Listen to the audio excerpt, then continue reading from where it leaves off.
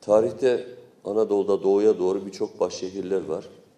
Fakat zamanın ruhunu okuyamadıkları için şimdi birçoğu sıradan il olduğu gibi bazen ilçe konumuna da düşmüş durumdalar. Böyle bir şehir konumuna da düşmemek lazım. Burada en önemli amil, şehircilikte çok güzel bir söz var.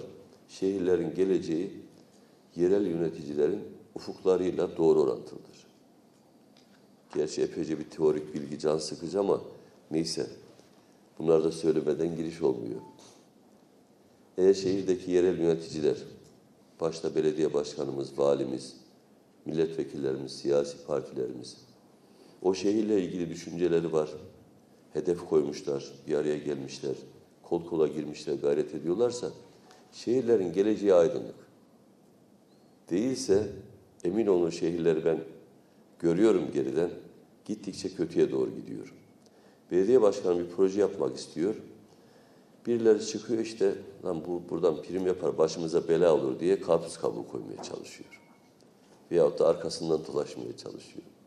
Veyahut da birisi iyi bir şey yapmaya çalıştığında öbürü tersine bir şey yapıyor.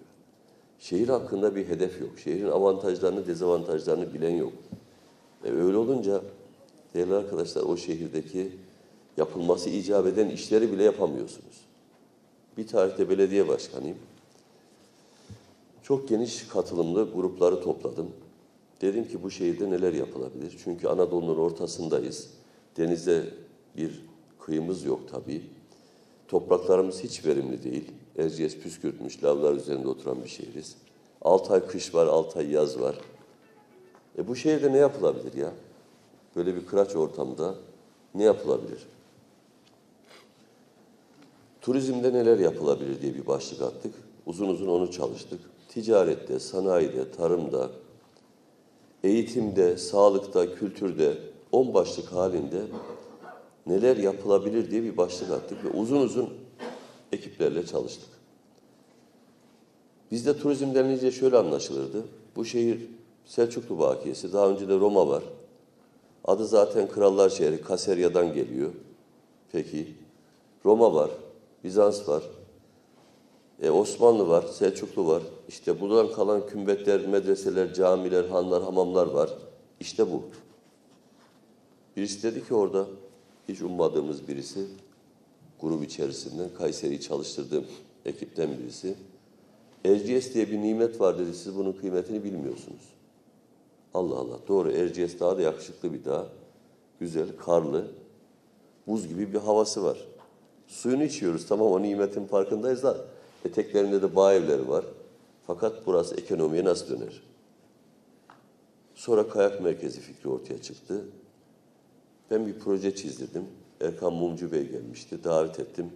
Dedim ki böyle bir kayak merkezi yapacağım, müsaade eder misiniz? Ne demek dedi ya. Pratikte bir arkadaştı. Benim de sevdiği için yetki sizde abi dedi. Ne istiyorsanız yapın. 20 seneye yakın oluyor. Ufak boylu birisi çıktı oradan. Dedi ki bu sizin yaptırdığınız proje dedi kayak merkezi projesi değil dedi. Neymiş peki dedim bu dedim. Ben de en namlı mimara proje yaptırdım. En şöhretli adama. Paraya da kıydım. Kayseri paraya kıyamaz ama kıydık işte yaptırdık bir proje. Efendim sizinki bu peyzaj projesi dedi. Ya bir taraftan adam öyle kendine güvenli söylüyor ki bir şey diyemiyorum. Bir taraftan da işime taş koyuyor canım sıkılıyor adam dedi. Peki kayak merkezi nasıl olur dedim. Müsaade ederseniz dedi ben dedi İnnsbruck'ta doğdum büyüdüm. İşçi çocuğu olarak orada dünyaya geldim. Milli kayakçıyım. Sizi götüreyim bir göstereyim dedi. Bir görün dedi. Allah Allah. Adam çok da oturaklı konuşuyor böyle. Genç de bir arkadaş. Bakan Bey'e dedim ki Allah razı olsun. Bak itimat ettiniz. Her türlü yetkiyi verdiniz ama bize birkaç ay bir müsaade edin. Biz dersimize iyice çalışalım. Biz çalışmamışız demek. Sonra kalktım Innsbruck'a gittim. Anladım olayı. Alplerde gezdim epeyce. Sonra bir ilk Beyoğlu'ndaki raylı sistemi yapan firma kayak merkezi çalışıyormuş. Onları davet ettim. Onlar dediler ki biz projeye başlamayız öyle. Ya ne yaparsınız? Biz dediler o dağda kayak yapılır mı yapılmaz mı bir sene çalışmamız lazım. Allah Allah. Geldiler 180 bin dolar verdim. Bir sene çalıştılar.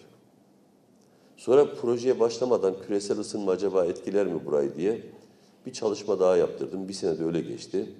Sonra projesine 3 sene emek verdim.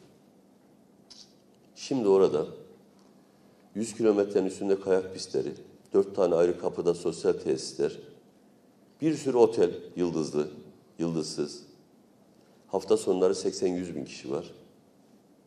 O 80-100 bin kişinin Kayseri ekonomisine faydasını bir düşünün arkadaşlar. Dışarıdan geliyor çoğu. Ve bizde turizm neredeyse sıfıra yakındı. Bir takım rakamlar verilir ama Ürgüp göremeye gelenler de onlar havalandan giriş yaptığı için rakamlar veriliyordu. Şimdi binlerce dışarıdan charter seferleriyle turistler geliyor. Değerli arkadaşlar bu ortak aklı kullanmak lazım. Ortak akılla ortaya çıkan şey ne ise onun peşine düşmek lazım. Sonra el ele kol kola girmek lazım.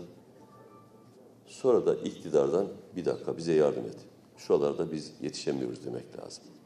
Daha sonra bizim parti başına, iş başına gelince Tayyip Bey'e gittim dosyaları koydum. Allah Allah dedi. Bunlara niye izin vermemişler?